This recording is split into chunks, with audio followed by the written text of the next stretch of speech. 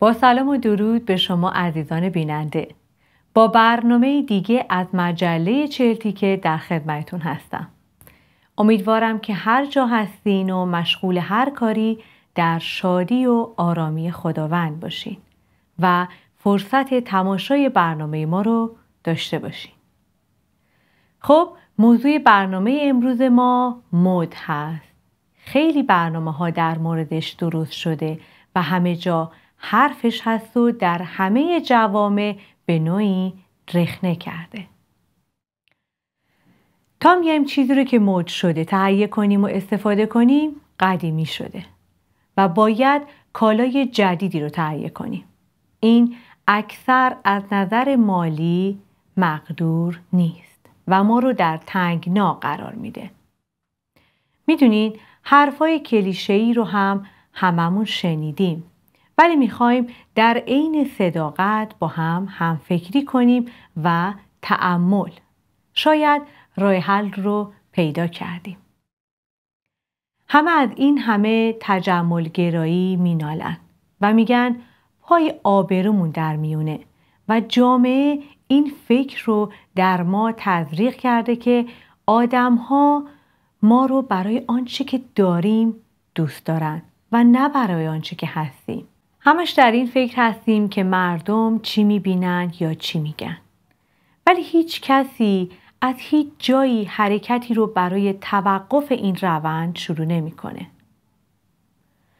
خب خانم های عزیز نظر شما چیه؟ فکر نمی کنید بهتره که کمی با خودمون تعمل کنیم و ببینیم که اصلا چی دوست داریم؟ آیا هر چی که جامعه و مد به ما تحمیل می‌کنه ما بیچون و چرا انجام میدیم؟ حتی بدون اینکه از اون مد و مدل خوشمون بیاد. یادم میاد یک بار از عزیزی سوال کردم که این چیه که پوشیدی؟ تا جایی که یادمه شما چنین مدل هایی رو دوست نداشتی؟ جواب داد چیکار کنم؟ مده. گفتم ولی آخه اصلا بهت نمیاد و اون لباس و یا مانتوی قبلی خیلی بهت بیشتر میامد. گفت چیکار کنم؟ این مد شده. همه از اینا میپوشن. آیا واقعا ما اینطوری زندگی می‌کنیم که هر کسی هر چی پوشیده ما همونو باید بپوشیم. هر چی بخورن ما همون رو بخوریم. این حتی ممکنه در مورد وسایل منزل هم باشه و نه تنها لباس و مانتو و غیره. باز یادم یک بار یکی از دوستان گفتن که من باید یکی از دستگاه های آب سرد کن برای خونم بخرم. من گفتم ولی شما یک نفری نیازی به این دستگاه به این بزرگی نداری. شما حتی پول خریدش رو هم نداری. می‌دونین چی گفت؟ گفت آخه الان همه از اینا تو خونشون دارن.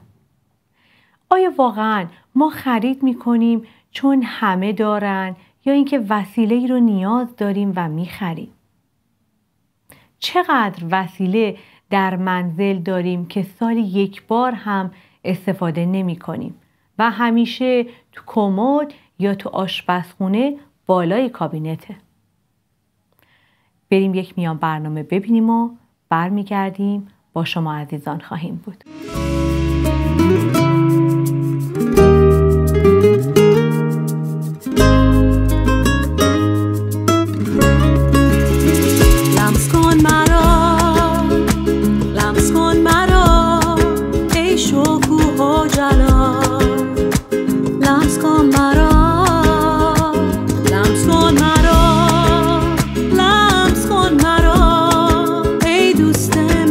我。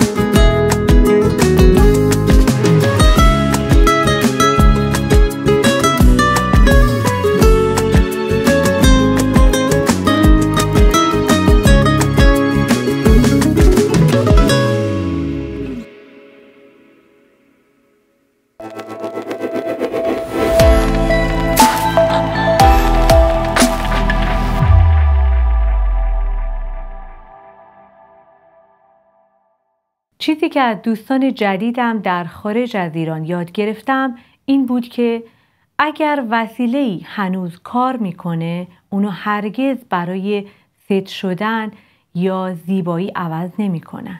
همیشه بر پایه نیازشون خرید می‌کنن نه بر اساس مد و تقلید. خداوند در کلامش در رومیان فصل دوازده آیه دو میفرماید رفتار و کردار و شیوه زندگی مردم دنیا را تقلید نکنید بلکه بگذارید خدا افکار و طرز فکرتان را دگرگون کند تا به انسانی جدید تبدیل بشیم. آنگاه قادر خواهید شد اراده خدا را درک کرده آنچه را که خوب و کامل است مورد پسند اوست کشف کنید.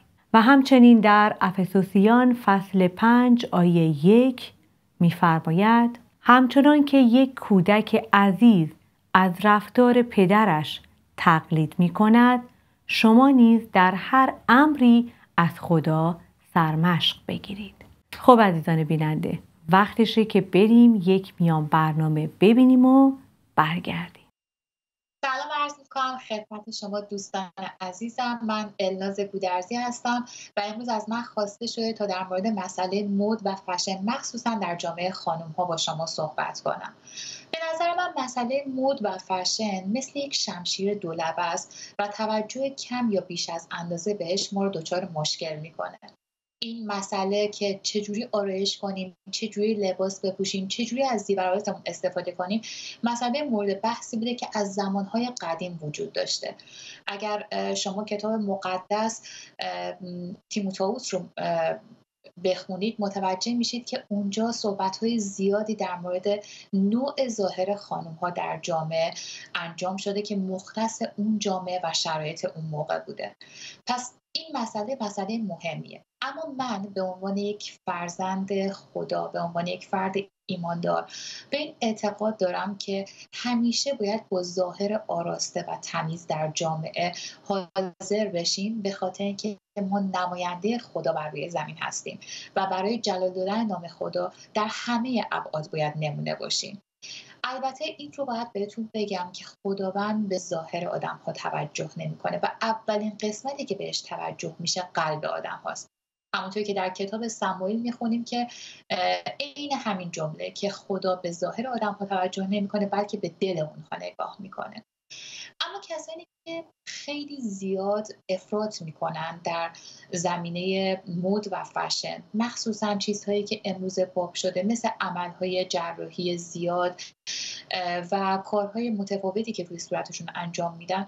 من به عنوان یک فرد مستقل نظرم اینه که زمانی که ما قلبمون آروم باشه قلب شادی داشته باشیم و به این ایمان داشته باشیم که ما فرزند خدا هستیم و خدا عاشق ماست شما پدری رو می‌شناسید که عاشق فرزندش نباشه. اون اونجوری که دوست داشت ما رو آفرید. پس ما رو همینجوری دوست داره. وقتی که قلب آرومی داشته باشیم می‌تونیم خودمون رو دوست داشته باشیم. در وهله اول ما باید خودمون رو دوست داشته باشیم تا بتونیم دیگران رو دوست داشته باشیم. نباید به خاطر کمبودهایی که در درونمون احساس می‌کنیم سعی کنیم در ظاهرمون تغییر ایجاد کنیم. چون هر چقدر هم در ظاهر تغییر ایجاد کنیم نمی‌تونه اون حس کمبود درونی ما رو جبران کنه. و برای علت اون کمبود باید یک جای دیگه دنبال جواب سوالمون بگردیم.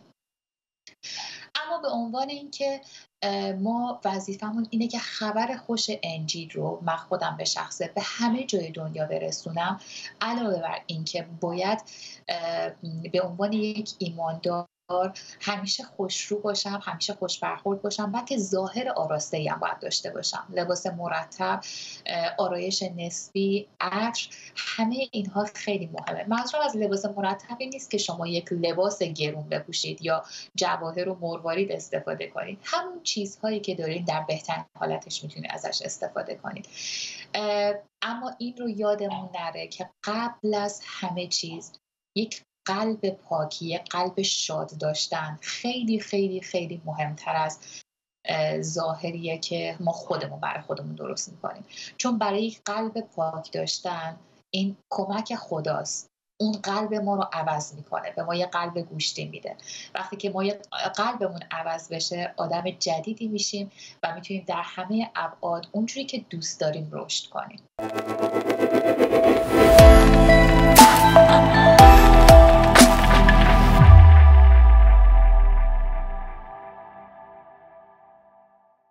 می‌دونید چرا اینها رو با شما عزیزان در میان می‌ذارم؟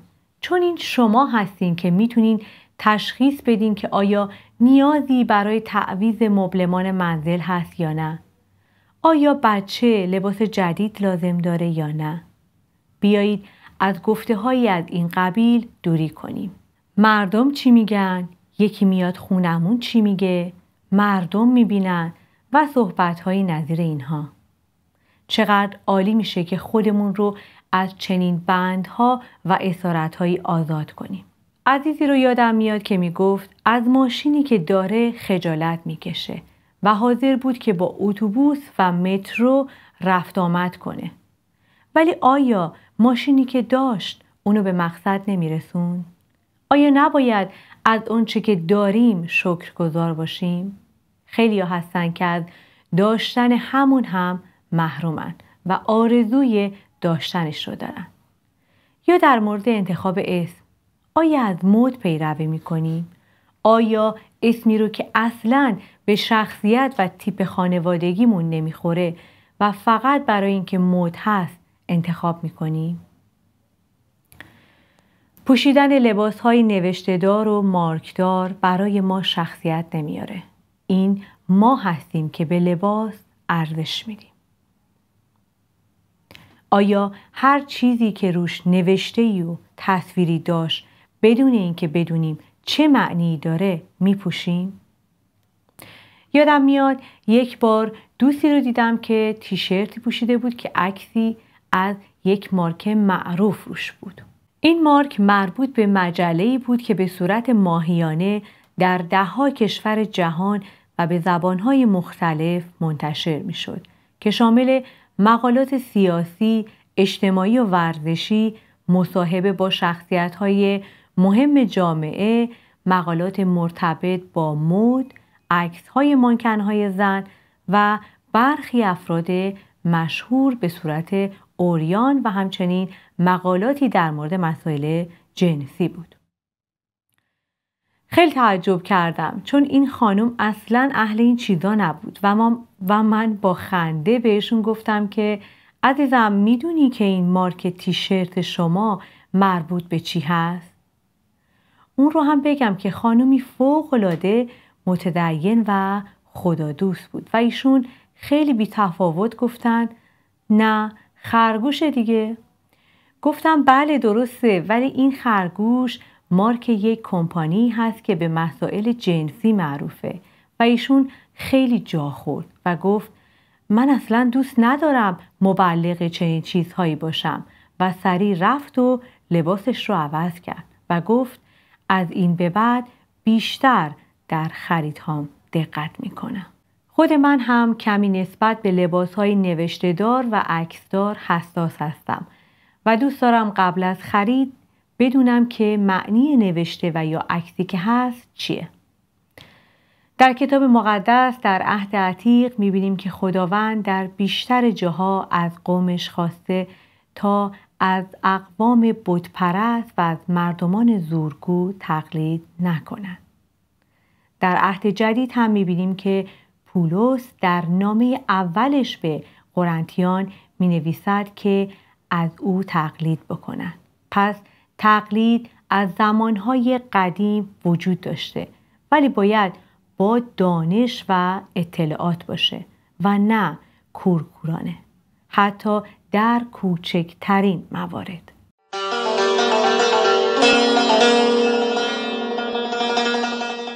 آیا می دانید همه فکرهایی که در سر دارید فکرهای شما نیست؟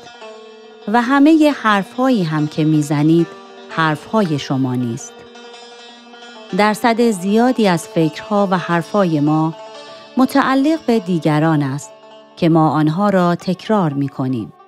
مثلا وقتی به همسری که انتخاب شخصی خودتان است حرف ناراحت کننده ای می زنید این صحبت از شما نیست بلکه از طرف شخص حسودی است که مخالف خوشبختی زناشویی شماست وقتی به فرزند دلبندتان که آرزوی موفقیتش را دارید حرفهای سرزنش آمیزی می‌زنید این حرفهای شما نیست بلکه حرفهای کسانی است که برای نابودیش دام و تله آماده کرده اند.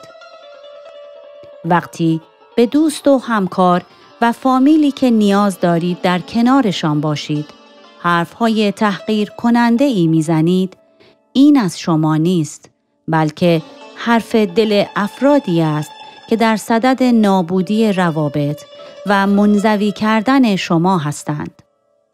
وقتی تلاش می کنید بیشتر زنده بمانید ولی برای زندگیتان افکار منفی و معیوس کننده دارید این فکر از شما نیست بلکه دارید مانند قاتلین جسم و روحتان فکر می کنید. وقتی با وجودی که سنگ وطن و اصالت را به سینه می‌زنید اما در مورد آن فکرهای ناامید کننده دارید این افکار شما نیست بلکه افکار دشمنان قسم خورده وطنتان است. آنها دوست دارند شما خودتان را نسل سوخته و کارت بازنده و مهره کیشومات شده بدانید. وقتی ایمان دارید به خدای مهیا کننده و به نجات دهنده عیسی مسیح. ولی در مورد امروزتان اعتراف منفی دارید و در مورد فردایتان ناامید هستید این فکر شما نیست بلکه فکر شیطان برای نابودی شماست. شریر می خواهد که شما در مورد خودتان همسر و فرزند دوست و همکار و هموطنتان اینطور ضعیف، منفی، تحقیرآمیز و ناامید کننده فکر کنید و این افکار منفی را به زبان بیاورید. نویسنده مزمور 19 در آیه 14 اینطور می نویسد سخنان زبانم و تفکر دلم منظور نظر تو باشد ای خداوند. باید خیلی مواظب تفکرات دل و سخنان زبانتان باشید. مبادا ناخواسته تبدیل به سخنگوی وفادار شیطان برای زندگی خودتان شوید. لطفاً هر روز صبح با بلند کردن صدای فرح بخش شکرگزاری در ایمان صدای نابود کننده شریر را در زندگیتان خاموش کنید. کشیش جلیل سپهر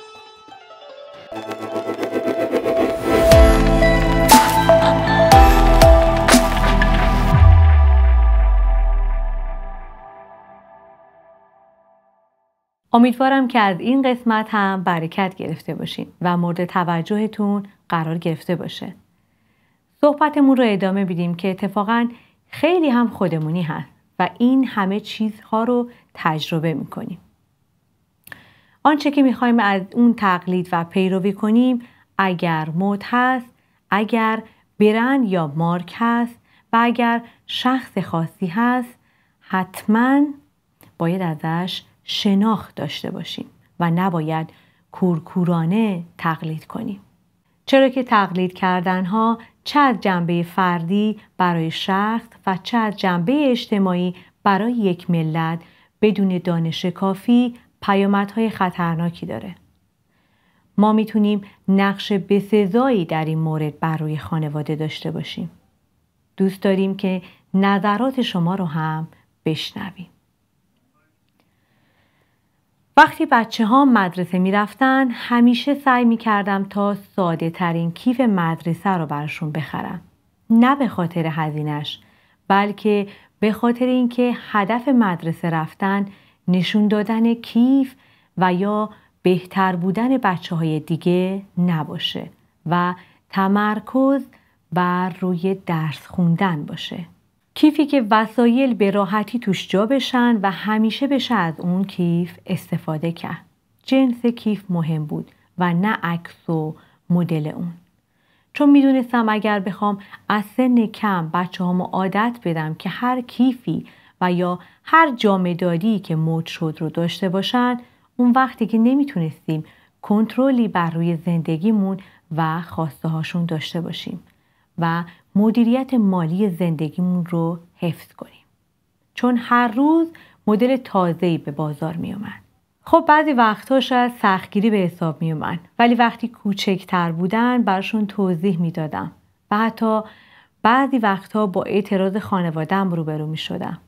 ولی بعدها که بچه ها بزرگتر شدن همیشه تو خریدهاشون دنبال چیزی بودن که ساده و شیک باشه و همیشه بشه استفاده کرد. ما دیگه مثل بعضی از والدین موقع خرید برای بچه ها دردسر و مشکل نداشتیم.